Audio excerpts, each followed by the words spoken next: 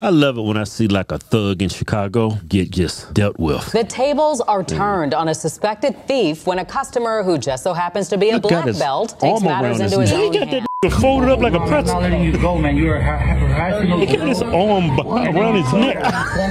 He got his arm wrapped around his own neck. Redzovic says when the man went into the store and punched an employee, he'd seen enough. Jumped in, grabbed him like I do in training here, put him down, flattened him like a pancake, and then I tied him up like a pretzel. For 18 minutes, Redzovic live streamed the ordeal, 18 minutes? pinning the man down until police arrived. He held the dude down for 18 minutes waiting for the cops. The cops get that 18 minutes. Chicago is a hole. Yeah, and he's right there instructing everybody what to do. Stay calm. I got everything under control.